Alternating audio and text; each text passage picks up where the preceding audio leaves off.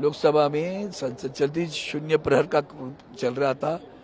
उसी में अचानक दो व्यक्ति अपने गैलरी से कूद पड़े। कूदे मतलब पहले वो आगे वाले पिलर को लटकते रहे।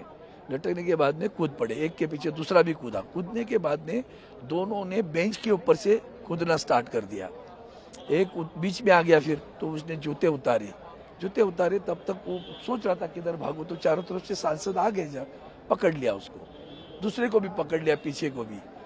उसके बाद में अचानक गैस आना स्टार्ट हुआ।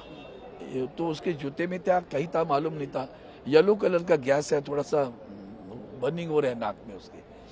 तो वहाँ हम थे तो तो बाद में पूरी पकड़ लिया एक मुझे लगता है एक को पकड़ा हुआ है अभी भी, दूसरे को भी पकड़ा हुआ है अंदर अभी चल रही है